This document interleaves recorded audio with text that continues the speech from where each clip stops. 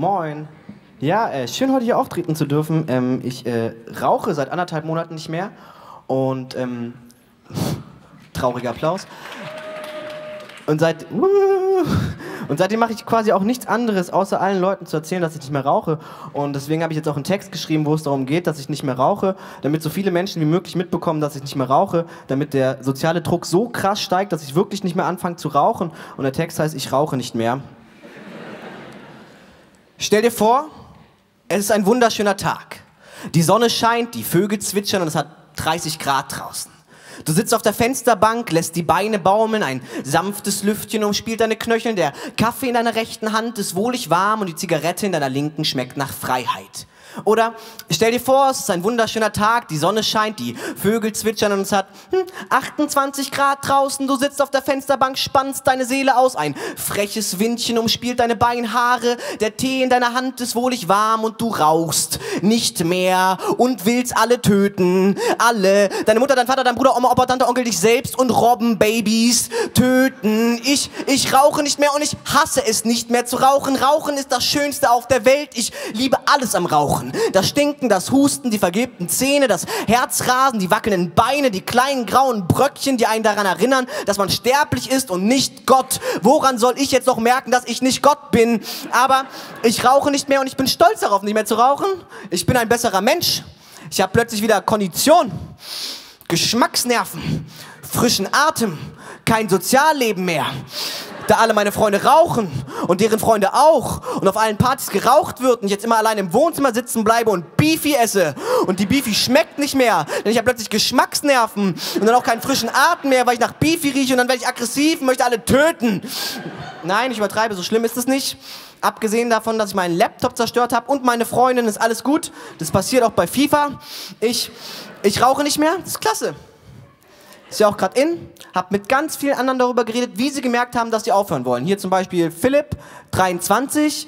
Ja, und dann war ich voll besoffen und es war Karneval und ich stand so vor der Bühne und da trat gerade Mickey Krause auf und ich habe mir so eine Marlboro Gold angemacht und gemerkt, nee, das bin ich nicht. Ich bin kein Raucher.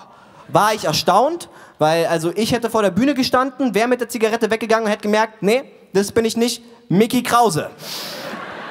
Ich liebe Rauchen, aber ich rauche nicht mehr, aber Rauchen ist halt geil. Rauchen ist rebellisch, verwegen, cool. Helmut Schmidt, cool. Kurt Cobain, rebellisch und cool. Mick Jagger, verwegen, cool, rebellisch. Ingeborg Bachmann, verwegen, cool, rebellisch, ein bisschen dumm. Ja. Aber so jetzt anders, berühmte Nichtraucher. Philipp Lahm. Klein. Ich liebe Rauchen. Aber ich rauche nicht mehr, weil ich bin kein Raucher, ich bin nicht cool und auch nicht rebellisch und nicht verwegen, seitdem ich nicht mehr rauche. Als ich noch geraucht habe, war das ganz anders, ja? Als meine Eltern mich erwischt haben beim Rauchen mit 14, habe ich denen nur so ins Gesicht geraucht. rebellisch, verwegen und cool und ein bisschen dumm, da Hausarrest. Aber Sonst, ich verbinde nur Positives mit Rauchen. Freiheit. Als ich von zu Hause ausgezogen bin, habe ich die ersten zwei Wochen nur Sachen gemacht, die ich bei meinen Eltern nicht durfte. Vegetarisch gelebt und geraucht. Jeder Tag voller Stress und Kämpfen um Anerkennung, um künstlerischen Krisen löste sich schlussendlich irgendwann immer ein Rauch auf. Auf der Fensterbank, in der Kneipe, auf Partys. Jedes gebrochene Herz wurde mit dem Teer jeder Zigarette, die ich auf dem Boden liegend mit meiner Mitbewohnerin geraucht habe, wieder zusammengeklebt. Rauchen ist wie diese eine Freundin, mit der du nur zusammengekommen bist, weil alle eine Freundin hatten. Aber über die Jahre hast du dich voll in sie verliebt, obwohl sie immer nach Eckkneipe stinkt. Doch irgendwas hat sie. Irgendwas, was die anderen nicht haben. Und sie macht dich atemlos und sie nimmt und nimmt und gibt dir eigentlich gar nichts. Und plötzlich haben alle anderen richtig coole Freundinnen und du hängst immer noch mit der kaputten Eulen rum und sie zerstört dich. Am Schluss bist du tot. Das war jetzt ein bisschen emotional. Und dann ist mir aufgefallen, dass Rauchen nicht Freiheit ist. Rauchen ist das Spießigste der Welt, es bestimmt deinen Tagesablauf, deine Lebensweisen, dein Sozialleben. Rauchen ist wirklich wie eine nervige Freundin, die alles kontrollieren möchte.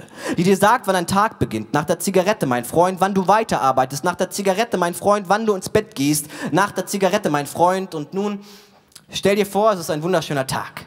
Die Sonne scheint, die Vögel zwitschern, es hat 28 Grad draußen, du sitzt auf der Fensterbank, spannst deine Seele aus, ein freches Windchen umspielt deine Beinhaare, der Tee in deiner Hand ist wohlig warm und du rauchst nicht mehr und du willst niemanden mehr töten. Das fühlt sich vielleicht ein bisschen dumm an, aber ist Freiheit. Dankeschön.